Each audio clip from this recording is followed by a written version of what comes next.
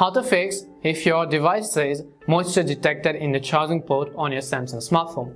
Hi everyone, welcome back to our channel. I am Bimal from App Guide. In today's video, I will simply show you the way on how you can fix moisture detected in the charging port of Samsung devices. But before we get started, as always, if you are new to our channel, do make sure to leave a like, hit that subscribe button, and without any further ado, let's get started with today's video. Now, the issue over here simply is that Sometimes whenever you simply plug in your charger, for example, you can see my Type-C adapter.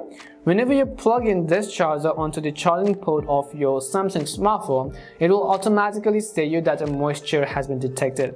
And this is actually really nothing to worry about. All it is saying us is that our moisture, which means our actually charging port, either our charging cable or the charging port is actually wet and that there are some kind of moisture within it. It doesn't necessarily need to be that it was wet, which means that you could have kept your phone under some circumstances, such as you could have kept it in a bag where it was basically wet, it could have dropped with tissue or maybe your charging port actually just got wet due to some other reasons.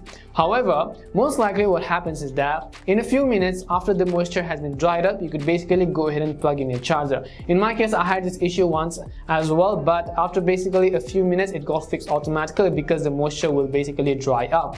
However, if you do not have time for that, you can also clean them manually. And in order to clean them manually, I would require you to actually hold on to a soft piece of cloth over here.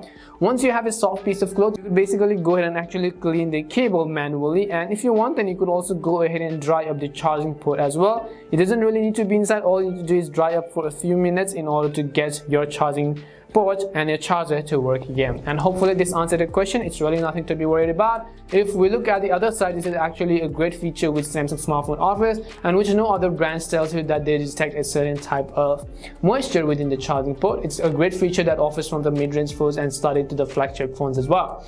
Hope this video helped you. If it did help you make sure to leave a like and subscribe to the channel. If you have any more questions queries or doubts simply also make sure to leave them down below. Thank you very much for watching till the end and see you soon in our next video go.